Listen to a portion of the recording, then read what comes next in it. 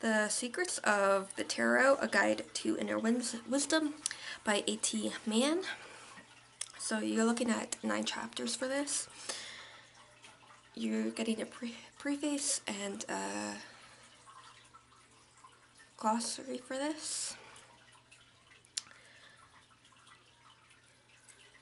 So you're getting what is tarot, origins and history, structure and symbolism, the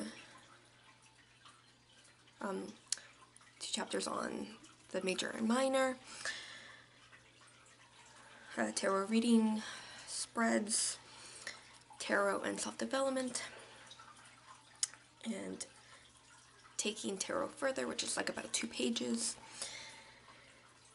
It's more history info based.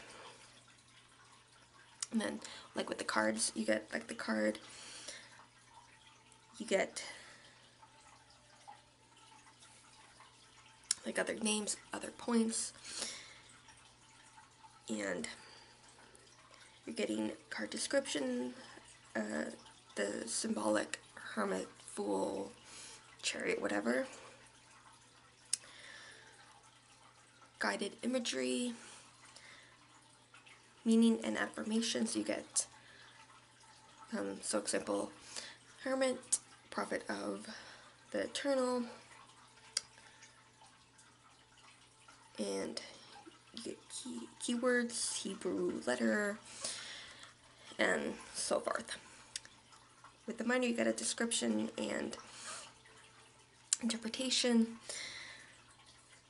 and they're not on their own page, they're kind of like one and right after the other.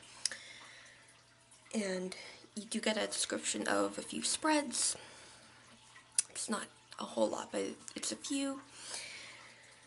And it has good good points. It's one of those books that's like beginner in intermediate kind of reader, so it's it is a decent book. It's so if you just because if you just want here's the information, this is one of the books for that. Because like there are books that are like, let me tell you a story. but um, I found this one not like that, so option.